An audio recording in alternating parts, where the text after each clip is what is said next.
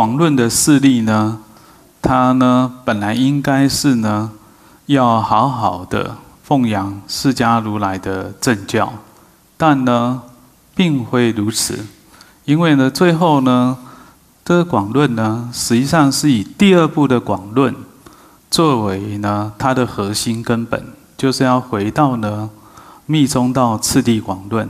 那这样的话呢，宗喀巴写的。问题在哪里呢？它里面呢，他提出的这个男女双修作为根本，也就是说，这是违背呢唤醒的，唤醒就是清净心，而且即使呢，他要说那我只是一个手段而已，可是那他达到以后，他继续做什么？他继续双修，也就是说，他的双修是永无尽头的。那你就不知道他到底到底要什么，因为他这样的一切清净行都不可能产生，他自己说的都呢远离呢三圣菩提的正法，而且即使用呢古代的古婆罗门教的梵行等等来看，他也不合格，所以广论呢最后一定会被人们所唾弃，这不是一个。中克巴的问题而已，而是呢，你对于呢性爱的这种追求，不应该呢把它呢跟佛法连接在一起，因为这呢等于是违背的佛教的清净明慧，所以呢它一定是不如实法，而且这边还可以再补充一下，就是说呢，对于呢。大圣非佛说这样的说法，其实世尊呢，当然早就知道了，一定呢有人会诽谤，所以在《大般若波罗蜜多经》就有说了。然后呢，在卷五百零六还有卷五百五十九都有说，说明呢后代会有人呢来呢认为这甚深般若波罗蜜多就是大圣法了哈，非呢真佛语，不是真正佛所说的。这个语言语句，非佛所说，不是如来所说的，不是啊，就是主张大圣会有说，非如来教，不是如来大师所教导的法。然后呢，世尊呢，最后下了很重的雨，当然就是说三恶道等等这些呢，就不用讲了。世尊直接用几个字，他说这样的人如。臭烂粪，好，呃，大家记下来吗？因为呢，在印度为什么要说要臭烂粪呢？因为呢，在在印度呢，这个牛粪还可以用，因为它不烂，它不臭，它还可以当呃燃料等等。可是呢？世尊呢，对呢这些诽谤大圣法的人啊，不管呢他是用呢呃男女双修来诽谤啊，或是说这或是继续说我的大圣法胜过佛，他世尊就就直接这样是属于臭烂粪，而且呢也包括说呢有的人他说二圣法一直呃一直演变，最后演变成大圣法啊，因为二圣圣文他们很努力啊，一直演变，世尊也不赞成。世尊呢，在《大圣方广，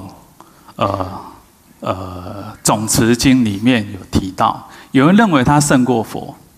那就属于呢，像宗喀巴、达喇嘛的，他们就认为我所成就的这个呢，报身佛，不是释迦牟尼佛这样的应身佛或化身佛可以比拟的，所以胜过佛。那另外，他们也主张什么？就是说呢，大圣经典是二圣部派的，二圣呢这些人发展的，然后呢，虽然说这些都是愚痴人，所以是谤佛所说大圣经典，言是呢声闻呢小圣所说。好，所以呢，我们呢应该离弃这样的法，就是呢要离弃这种密教的这种呢邪思。让密教呢，它可以呢有机会改变。那我们相信呢，一定还是里面呢有一些真正的想要修学呃圣道法门、圣道门的人，他们呢愿意来接受真正的这个呢如来所说的三圣菩提，然后达到呢一些呢他们所谓的改革，那我们就乐观其成。那再下来呢，我们就要去看说呢，那对于欧美的各国的话，有没有什么样的影响呢？我们陈请陈老师来说明。佛法要信受佛法呢，当然我们从呃这个两千五百多年来的整个历史来看呢，呃，佛法的信受呢是的确是有需要它的啊那个社会环境跟呃背景哈，但是呢，我们也看到了。几年来呢，有更多的欧美人士呢，他们慢慢的呃往佛法的这一块呢，呃想要更了解它。可是呢，很不幸的就是说，达赖喇嘛呢，因为他夹着当时美国为了要呃反跟中国要打对台了哈。所以，就达赖喇嘛就趁势在在这个世界各地呢，就到处呃去去演说、去演演、去开开设他的这些金色等等的嘛。后来他不也得了拿到了呃诺贝尔的和平奖嘛？可是由于他们基本的理论是有基础的。所以很多在欧美地区，他们设的所谓的研修研修中心啊，会出现就是这个性侵的问题。密教性侵的问题很显著，因为他们自己也不知道那是问题，因为宗喀巴所定下来的修行的方式，哎，就是这样。你最后你就要说透过男女双修啊，然后来成就呃大乐光明、无上瑜伽，这个是他们修行的一个一个必行的方向啊，所以他们不觉得有问题。可是透过呃平时导师乃至我们不断的在佛教界发生之后呢，那。呃，我想未来欧美各国，因为有人发现了那个问题，那个很更多的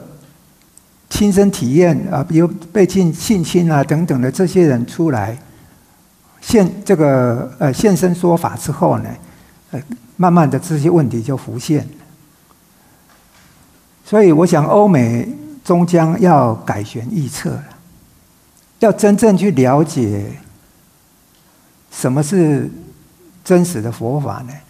还是要回到玄奘大师当时从天竺所带回来这些经论，然后在唐朝政府支持之下，大量的翻译出来的这些大圣法的这些经论啊，要从这边去理解它。那这里面最重要，当然就是成唯识论嘛。所以平时导师在此时此刻做成唯识论四呢，绝对是有它历史的必要。郭老师，您认为呢？哦，是，我们可以说透过这个时代的一个努力，